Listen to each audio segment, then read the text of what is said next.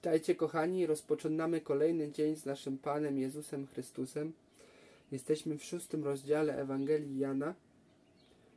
Jezus mówi o wierze, o karmieniu się Nim przez wiarę, przez bycie z Nim, przez skupienie się tylko na Nim, bo On jest chlebem, On jest życiem. By oderwać się od tego materialnego myślenia i patrzenia i spostrzegania, ale by wejść w patrzenie duchowe, w patrzenie pokoju, odpoczynku, w Jego ramionach, w Nim, by się w Nim rozkochać, by Go poznać, by Go ukochać, by się Nim cieszyć i radować. Nie studiować Biblię, ale by się z Nim zjednoczyć, by być do Niego we wszystkim podobnym, by funkcjonować i reagować we wszystkim tak jak On, by tak się z Nim głęboko scalić, by cały Jego charakter wyrażał się przez nasze życie w każdej chwili. Jezusowi tutaj o to chodzi. I Żydzi, którzy mieli ciągle te materialne spojrzenie, światowe myślenie, mimo tego, że myśleli, że myślą pobożnie,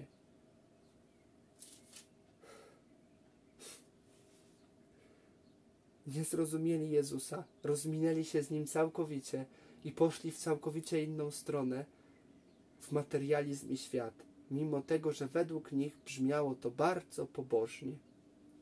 41 werset. Wtedy szemrali Żydzi o nim, bo powiedział: Ja jestem chlebem, który zstąpił z nieba. I mówili: Czyż to nie jest Jezus, syn Józefa, którego ojca i matkę znamy? Jakże więc on może mówić: Stąpiłem z nieba? Niewiara. Wtedy Jezus im odpowiedział: Nie szemrajcie między sobą.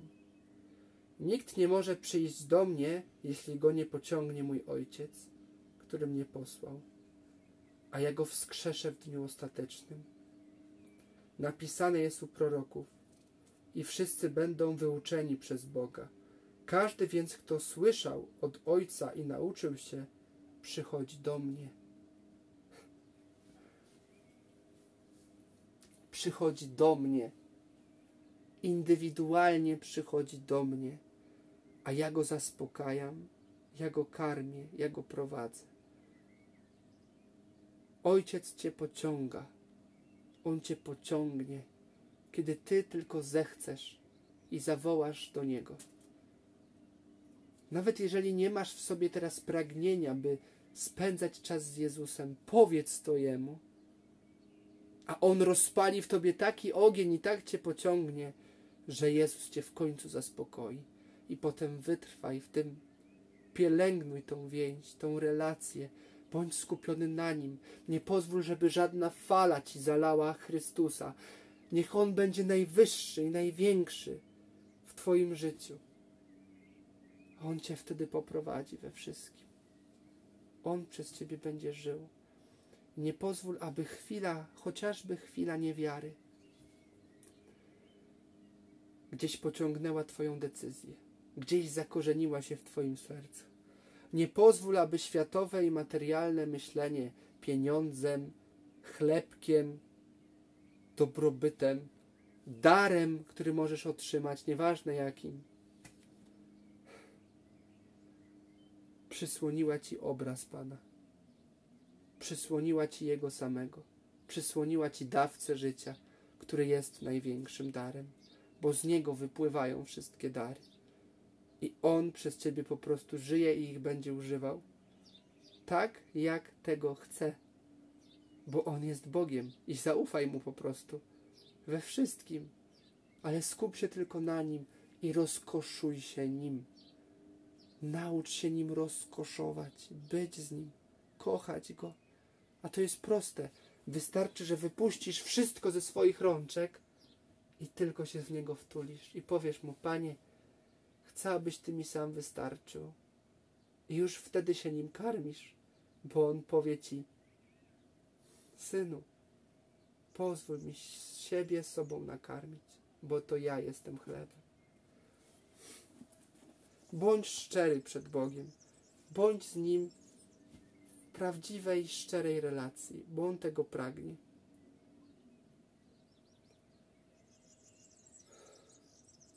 dalej mówi: Nie jakby ktoś widział Ojca, oprócz tego, który jest od Boga, ten widział Ojca.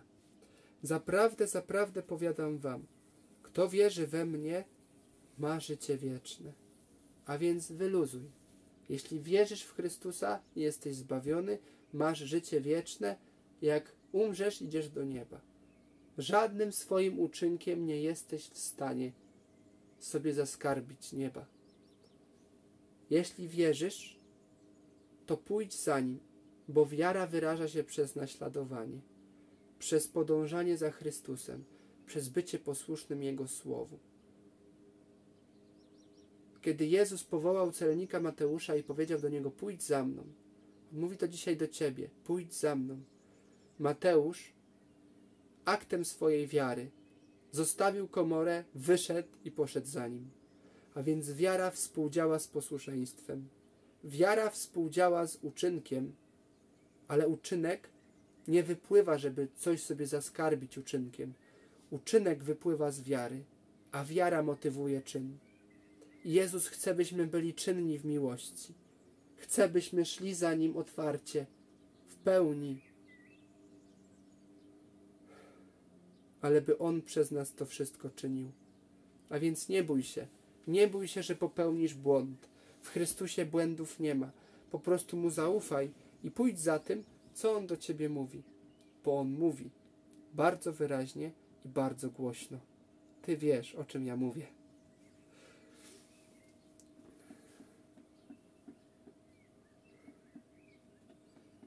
Jezus dalej mówi: Ja jestem tym chlebem życia. Je, wasi ojcowie jedli mannę na pustyni, a poumierali. On dewastuje ich materialne spojrzenie i mówi znowu: Ja jestem chlebem. Mówiłem wam, że aby wypełniać dzieło Boże, wierzcie w tego, którego On posłał we mnie, bo ja jestem prawdziwym chlebem. I On mówi, wasi ojcowie jedli mannę na pustyni i poumierali. Tu nie chodzi o chleb materialny do jedzenia, chleb podczas jakiegoś rytuału, czy jakikolwiek inny chleb. To jest ten chleb, który zstępuje z nieba. A ten, kto go je, nie umarł. Jezus to mówi, to jest ten chleb. Ja jestem chlebem. Karmisz się mną przez wiarę, przez więź, przez bycie ze mną. To jest ten chleb, który zstępuje z nieba, aby ten, kto go je, nie umarł. Dalej Jezus mówi: Ja jestem chlebem żywym, który zstąpił z nieba. Jeśli ktoś będzie jadł z tego chleba, będzie żył na wieki. A chleb, który ja dam, to moje ciało, które ja dam za życie świata. I Jezus mówi tu o swojej śmierci krzyżowej, gdzie oddaje za nas swoje życie, staje się dla nas grzechem, zostaje zabity i pogrzebany i zmartwychwstaje. On morduje w swoim ciele cały grzech, by uczynić nas sprawiedliwością Bożą, byśmy mogli wejść z Nim w tą głęboką więź i karmić się Nim przez wiarę, mocą Jego ducha, z którym jesteśmy jedno, bo jesteśmy Jego ciałem którym On nas czyni, i Jego duchem. Jesteśmy z Nim jednym ciałem i jednym duchem i karmimy się z Nim przez wiarę. Nim przez wiarę. I to jest piękne. Zobaczcie, co się wydarzyło. Ludzie wzięli te dwa fragmenty. Na podstawie nich zbudowali teologię i rytuał w kościele. A więc przychodzisz co niedzielę i karmisz się chlebkiem, który staje się który ponoć to jest w ogóle takie zaprzeczenie słów Chrystusa. Karmisz się chlebkiem, który rzekomo tym staje się żywym, materialnym Bogiem. I, i jesz, wracasz do domu i nic w Twoim życiu się nie zmienia. To jest całkowite wyjście z myślenia Pana, z myślenia Chrystusa. Bo Jezus mówi: Ja jestem, moje słowo jest duchem i jest życiem. Ja jestem prawdziwym pokarmem i prawdziwym napojem. A cały ten rozdział, w którym są użyte te słowa, mówi o wierze. o karmieniu się nim przez wiarę, o głębokiej więzi z nim. Jezus mówi: Ja jestem chlebem i dewastuje światowe myślenie, które mówi o materialności, o szukaniu go ze względu na znaki, cuda i jakieś materialne rzeczy, i mówi, że to nie jest chleb materialny, bo wasi ojcowie jedli mannę na pustyni i poumierali. To jest coś innego. Wy musicie zacząć myśleć tak jak ja, myśleć duchem. Bo ja jestem życiem, drogą i prawdą, a moje słowo jest duchem i jest życiem. To jest konkret. Zobaczcie. Ja jestem chlebem żywym, który zstąpił z nieba. Jeśli ktoś będzie jadł z tego chleba, będzie żył na wieki. A chleb, który ja dam, to moje ciało, które ja dam za życie świata na krzyżu, a nie do jedzenia podczas każdego rytuału w niedzielę.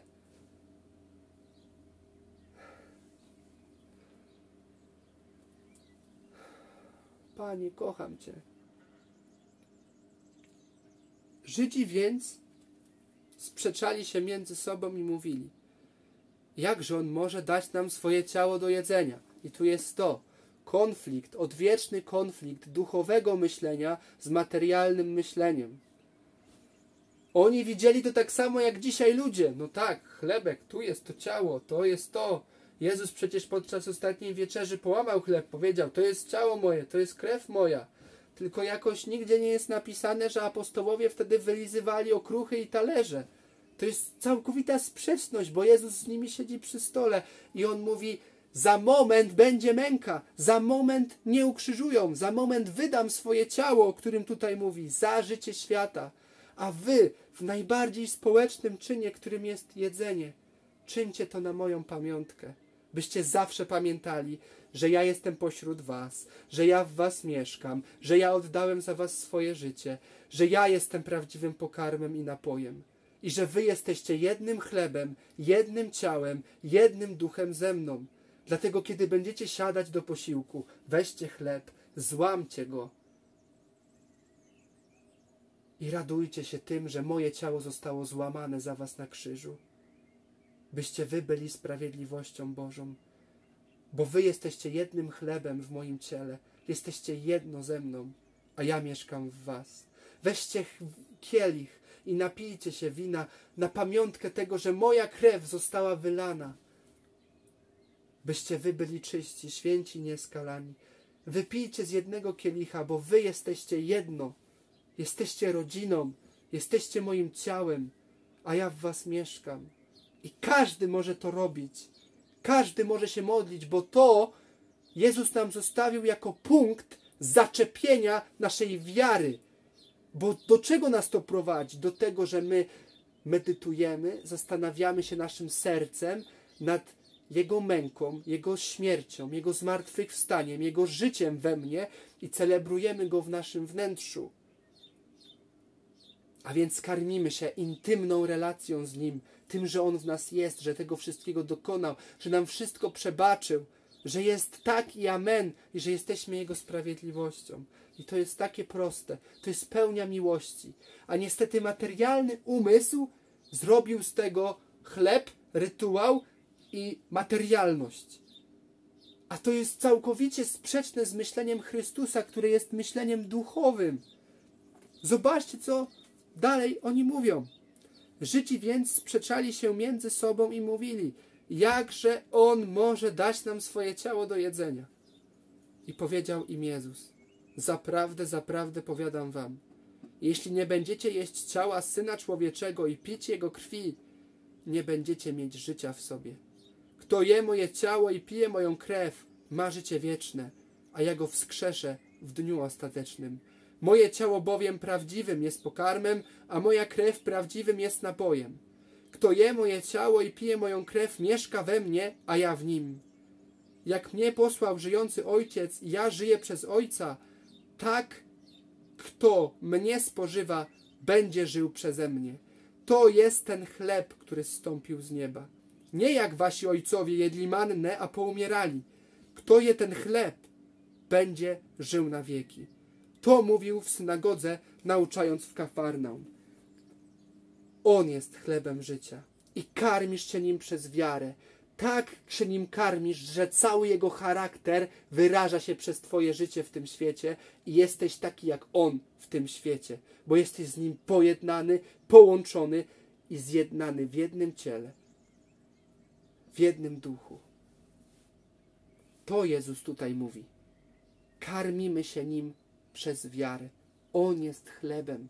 Karmisz się z nim, kiedy skupiasz się na nim, kiedy celebrujesz go w swoim sercu, kiedy myślisz o nim, kiedy z nim rozmawiasz, kiedy z nim chodzisz na spacer, kiedy czytasz słowo, bo Jezus dalej mówi: Moje słowo jest duchem i jest życiem, a dalej mówi: Ciało nic nie pomaga.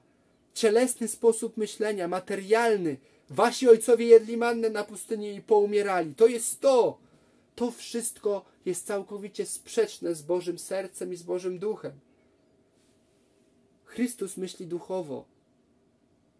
To jest, poz, to jest pozbawione wszelkiej racjonalizacji. To jest duch, to jest życie, to jest serce Boga.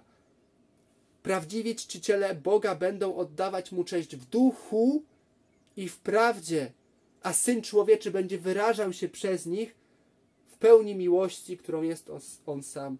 Jezus w tej samej Ewangelii mówi, że po miłości poznają, że jesteśmy uczniami Chrystusa. Dlaczego? Bo On w nas zamieszka i On będzie kochał przez nas i wszystko przez nas czynił. Tylko zacznij się Nim karmić. Zacznij z Nim przebywać. Zacznij o Nim myśleć. Zacznij Go poznawać przez Słowo. Wtul się w Niego. Wyobrażaj Go sobie. Rozmawiaj z Nim. Pozwól, aby Twoje serce, oczy Twojego serca, którym jest wyobraźnia, nakarmiła się Panem. Medytuj Jego słowo. Wchodź w relację z Bogiem. Zadawaj Mu pytania. On jest bliski. On jest dobry. On Cię kocha. Amen. Ojcze, w Twoje święte imię dziękuję Ci za Twoją wolność. Za to, że Ty jesteś prawdziwym pokarmem i prawdziwym napojem, Jezu Chryste. Proszę, by ludzie przychodzili do Ciebie tylko ze względu na Ciebie i szukali tylko i wyłącznie Ciebie. Nie manny na pustyni, nie jakichś zewnętrzności rytuałów, nie darów i giftów, mocy, chwały i władzy. Proszę Cię, by oni przychodzili tylko po to, by się w Ciebie wtulić, by się Tobą rozradować, by Tobie zaufać, by usiąść na Twoich kolanach, by spojrzeć Ci w oczy, by się Tobą rozkoszować, by Cię ukochać, by z Tobą być. Proszę Cię, Jezu, o to, by moje serce zawsze pałało tak wielką miłością do Ciebie i pogłęb tą miłość. I niech ta miłość wyraża się bezpośrednio miłością do drugiego człowieka, cierpliwością, łagodnością, dobrocią, bo Ty za mnie umarłeś, Panie, na krzyżu. Ty mnie zbawiłeś, Ty oddałeś za mnie życie, Ty uczyniłeś mnie swoją sprawiedliwością, Ty dałeś mi moc i zamieszkałeś we mnie cały. I żyjesz i królujesz we mnie. I żyjesz przeze mnie, bo nie żyję już ja, ale żyje we mnie tylko i wyłącznie Jezus Chrystus. W imieniu Jezusa. Amen. Tylko Ty jesteś prawdziwym pokarmem i prawdziwym napojem. Amen. Yo.